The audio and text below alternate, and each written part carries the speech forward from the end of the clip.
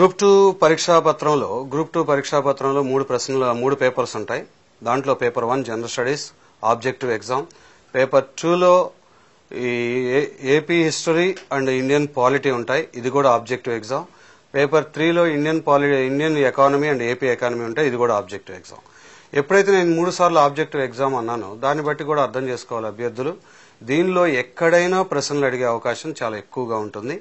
అందువల్ల సిలబస్లో ఏ ఒక్క చిన్న విషయాన్ని కూడా వదిలేయకుండా అన్ని విషయాల మీద సంపూర్ణ పరిజ్ఞానాన్ని పొందుతూ కావలసినటువంటి బిట్స్ని ఎలా అడగటానికి అవకాశం ఉంటుంది అనే అవగాహన అభ్యర్థులు ఏర్పరచుకోవాల్సి ఉంటుంది.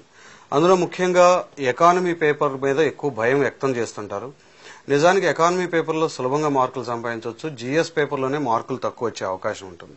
అందువల్ల జీఎస్లో ప్రిపేర్ అయ్యేటప్పుడు అది డిఏఓ ఎగ్జామ్ కానీ డిఎల్ కానీ ఇంకోటి కానీ జాగ్రత్తగా మీరు ఈ పాఠశాల స్థాయి పుస్తకాలను ఎక్కువగా పఠించడం ద్వారా అలాగే గత గతంలో ఎలాంటి ప్రశ్నలు అడిగారు అనేది చూడటం ద్వారా మంచి మార్కులు వస్తాయి.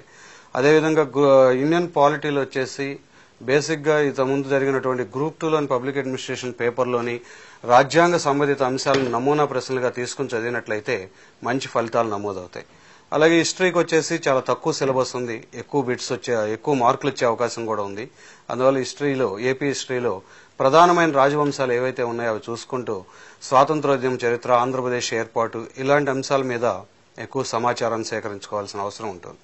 ఇండియన్ ఎకానమీ ఏపీ ఎకానమీలో ప్రధానంగా ఇండియన్ ఎకానమీ వచ్చేసి ఎక్కువ జనరల్ స్టడీస్తో మ్యాచ్ అవుతూ ఉంటుంది. దాంట్లో కొంచెం ఈ స్టాటిస్టిక్స్ పార్ట్ ఉంది. దాన్ని కొంచెం జాగ్రత్తగా ప్రాక్టీస్ చేసుకోవాలి.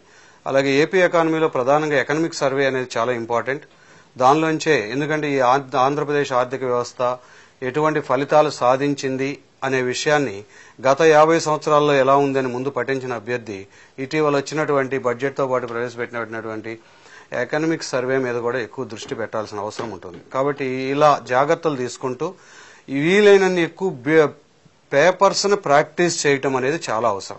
ఎంత చదివామన్నది కాదు ఆ చదివిన దాన్ని ఎంత బాగా ఎగ్జామ్ ఓరియంటేషన్తో అప్లై చేస్తున్నాం అనేది ఈ గ్రూప్ టూలో ఆబ్జెక్టివ్ ఎగ్జామ్లో నిర్ణయించబడాలి అని అంటే వీలైనన్ని పాత ప్రశ్నపత్రాలు వీలైనన్ని నమూనా ప్రశ్నపత్రాలు సాధించడం అనేది అభ్యర్థి అనుసరించాల్సినటువంటి మెళుకువ